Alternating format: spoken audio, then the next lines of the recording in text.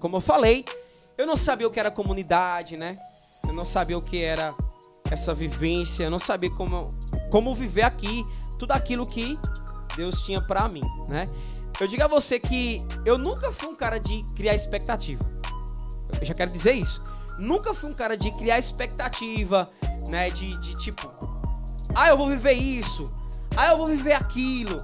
Ah, eu sei que, que, que quando eu chegar na comunidade eu vou viver essa realidade. Não se preocupava Não, não. em o que tu ia viver, Não, né? não, não. Foi. Eu sempre fui um cara e ainda eu sou um cara, né, que eu gosto muito de, de viver os processos de Deus, né? Eu digo sempre, muito mais do que dar passos é o permitir que Deus me guie. E eu digo a você, Verdade. a minha vida, né? A minha vida foi um guiar de Deus. Foi um guiar de Deus. Eu nunca criei expectativas, né? Nunca criei expectativas. E quando eu cheguei na comunidade Cairóis, né? Quando eu entrei na comunidade para viver essa realidade nova que eu nunca tinha vivido, né? Uma experiência, sabe? Uma experiência nova para mim, né? Porque eu não- nunca tinha vivido essa realidade. E quando eu cheguei na comunidade, né? Foi algo, algo, algo, algo, é, algo espetacular. Porque Deus ele me guiava, ele me guiava de todas as maneiras, né? De, de, de, de viver essa realidade de Sim. irmandade, Sim, sim. né? De, de, de, É isso. de- de Assim, comunidade. Tipo, tu pensava, tipo, como, poxa, eu acho que eu, particularmente falando, eu pensava minha expectativa assim, quanto a vir morar, que era, caramba, a galera de lá só faz rezar, velho. e aí, eu que não rezo muito, vou fazer o quê? Como é que vai ser, entendeu? Porque a gente pensa isso, a galera lá já é tudo santo, velho. Tá todo mundo vivendo a santidade lá dentro já, todo mundo é santo, ninguém é, é, faz nada que não é certo, todo mundo vive o que tá escrito na palavra, era isso que eu pensava. Não Aham. sei se tu, por algum momento, pensou isso. Aham.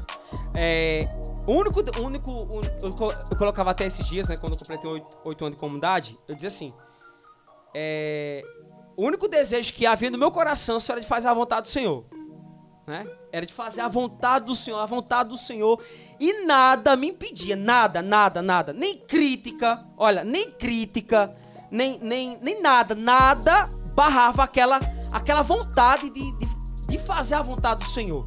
Foi algo muito louco, muito louco. E as pessoas, que quando eu cheguei na comunidade, né? Muitas pessoas até, que hoje não estão aqui, é, muitas pessoas diziam assim, é, pensavam que era fogo de palha. Porque eu, eu che- cheguei aqui na comunidade, um cara muito, muito extrovertido, muito brincalhão tudo mais, só que um cara convicto daquilo que Deus tinha me chamado. Eu, eu entrei na comunidade Cairóis certo, Padre, do meu chamado e da minha vocação.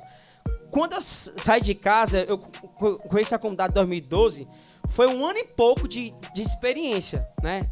De, experiência de, de realidade. E quando entrei na comunidade, eu entrei co- mais certo do meu chamado. Sim. Eu digo até hoje, até hoje isso pode ser, isso pode ser loucura para muitos e até críticas para muitos. Eu tô com oito anos na comunidade. Eu nunca diz assim, vou arrumar minhas malas e vou embora. Entendeu? Passei por lutas, por depois a gente vai entrar nessa realidade. né? É. lutas, crises, né? Mas vamos lá. Eu entrei convicto naquela, naquela vontade assim. Não, eu vou, eu, eu, eu vim aqui, eu tô dando minha vida e eu vou dar o, tudo, tudo, tudo, tudo. Aí quando você entrou, aí você entrou, conviveu, viveu e viu qual é a realidade de quem, Isso. quem mora Eu aqui. me apaixonei p- por essa realidade de viver comunidade, porque os desafios veio, né? Vamos lá, entrei na comunidade. É, a Me de- realidade agora. é re- tipo a realidade. Entrei na comunidade, vi a realidade. A comunidade Cairóis, uma comunidade que ora, né? So- sobe monte, desce vale e, e, tipo, era essa pegada. Jejua. Essa pegada. Eu entrei, eu entrei nessa pegada, filho. Essa pegada dos três dias de oração, quando eu entrei, eu nunca esqueço até hoje. Eu vivenciei os três dias em oração sem dormir, poxa. Foi loucura, eu nunca esqueço. Foi loucura, loucura. Ou seja, oração, rosário, O, retiro do fogo lá. do fogo, do fogo, dos graus de fogo. Cara, foi algo sobrenatural. Ou seja, eu entrei na comunidade.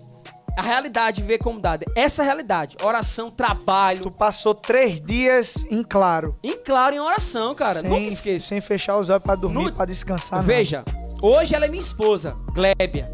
Nunca Aleluia. esqueça. Ela tava nesse. Nesse. Nesse. Manda um abraço aí pra ela. O cheiro, meu bem. E pra. E pra o Moisés, Moisés Júnior. Meu, meu pequeno, né? O pequeno príncipe. Era eu, ela, Edilson, Dona Vera. Nós passamos três dias em claro. Nunca esqueço. Era dois lugares que eu ia. Era o banheiro, para necessidades, e o refeitório. Depois voltava para a tenda, a gente tinha uma tenda. Ou seja, a realidade da comunidade Cairós, de viver essa comunidade, né? De viver essa realidade em comunidade, né? Oração, trabalho, a convivência, a convivência, né? E é, é um desafio diário. Sim. Sim. Mas quando eu cheguei na comunidade, apaixonado, louco mesmo, louco, louco, ia superando todos os desafios. É porque a fome era maior, né? A Com fome pelo certeza. carisma. E, e saber também que cada um é o principal responsável pela sua vocação. Pela sua vocação. Então, se você não, não, não alimentar. Não alimentar, Não é o carisma que vai sustentar, Isso, né? Você isso. tem que buscar. O carisma é o seu suporte, mas você tem que ser o responsável pela, por manter a sua vocação. E eu também. cheguei na comunidade, né, em, em novembro, e quando foi em julho do outro ano, né, de 2014, eu já fui enviado para a missão. Já, já, já fui enviado para uma missão, a missão Tambor, lá em Vertente do Lero, né, perto de Surubim ali. E eu não sabia o que era missão, né? Só que eu, era o desejo que era grande de, de, de ser de Deus, o desejo de evangelizar, de levar aquela experiência a muitas pessoas.